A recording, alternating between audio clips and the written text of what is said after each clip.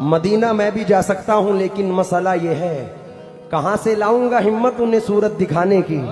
अरे, लिपट जाऊँगा कदमों से तो सीने से लगा लेंगे, क्योंकि मेरे आका को आदत ही नहीं ठोकर लगाने की।